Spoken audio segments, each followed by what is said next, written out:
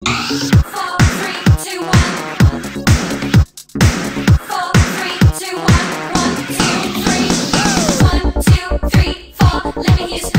ียกได้ว่าเป็นผู้นำในตลาดสมาร์ทโฟนมาก ๆ เลยล่ะค่ะสำหรับแบรนด์โนเกียที่ล่าสุดจัดงานเปิดตัวสมาร์ทโฟนรุ่นล่าสุดในงาน Mobile World Congress 2018 ณ ประเทศสเปนที่มาพร้อมมาตรฐานพร้อมความทนทาน และพร้อมกระทบไหล่ดาราเจ้าบทบาท ปรางกัญญ์ณรัณ วงศ์ขจรไกลที่จะมาร่วมพูดคุยและแลกเปลี่ยนประสบการณ์ของการใช้สมาร์ทโฟนในครั้งนี้งั้นเดี๋ยวเราไปฟังเสียงสัมภาษณ์กันเลยดีกว่าค่ะ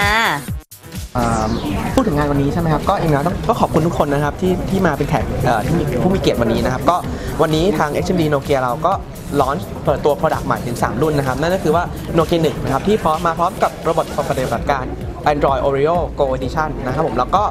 Nokia 6 รุ่นใหม่ล่าสุดของปีนี้นะครับผมรวมถึง Nokia 7 Plus นะครับผมที่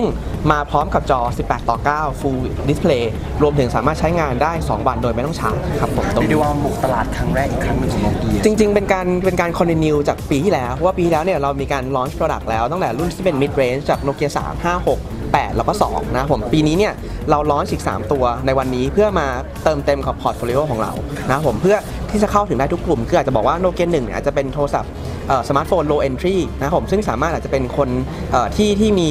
บัตเจ็ตน้อยหน่อยหนึง แต่สามารถที่จะมีประสบการณ์การใช้ได้อย่างเต็มที่นะครับผมเพราะว่าระบบปฏิบัติการเนี่ยมันมาพร้อมกับ Android Oreo Go Edition ซึ่งระบบมันถูก optimize มาให้สามารถใช้ได้กับ low low end smartphone นะครับผม6แน่นอนเรามีเคยทำตัวที่ success มาแล้วปีที่แล้วนะผมปีนี้เรามีเวอร์ชันใหม่ นะผมที่จะมาเปิดตัวขึ้นของวันนี้รวมถึง 7 plus เป็นครั้งแรกของทางโนเกียที่มาเล่นในแง่ของตัวอ่าจอ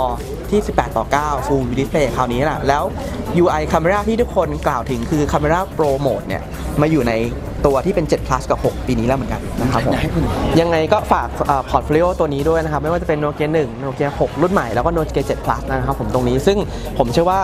น่าจะตอบโจทย์ใครหลาย ๆ คนนะครับผมในแง่ทุก range ของตัวสมาร์ทโฟนโนเกียนะครับผมตรงนี้ยังไงก็ยังไงขอฝาก product ใหม่ตัวนี้ไว้ด้วยครับผมโอเค